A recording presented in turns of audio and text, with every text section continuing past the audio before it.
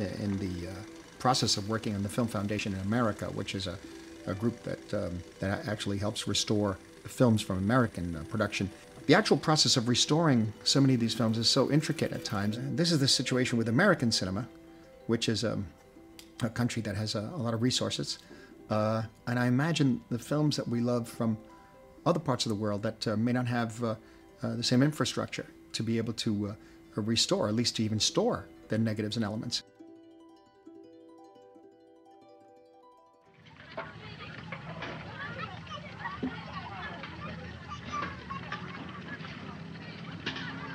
On peut être conscient euh, en Europe euh, euh, des problèmes du cinéma africain, par exemple, de la restauration des copies. mais quand on est cinéaste africain, c'est, ça fait partie, c'est presque dans ton corps. Tu sais que tu fais des films, euh, que ton pays n'a même pas euh, une cinémathèque euh, pour le préserver. Donc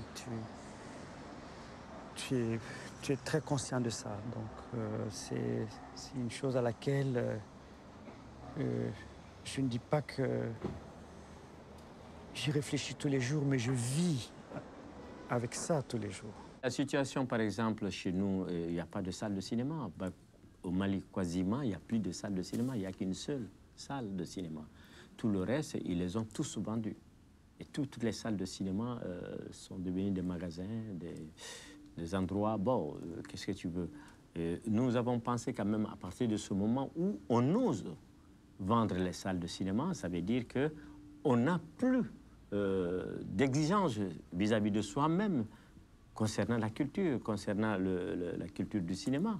Parce que nous avons vu la détérioration de ces salles, finalement, a créé d'autres détériorations aussi. Parce que ce qu'on oublie, c'est que c'est un lieu de rencontre pour les gens. Et donc, si tu retires ça, euh, il y a un vide dans nos pays, et c'est dommage. Paris, Paris, Paris, c'est sur la terre un coin de paradis. Paris, Paris, Paris. Paris, Paris, Paris. Paris, Paris, Paris.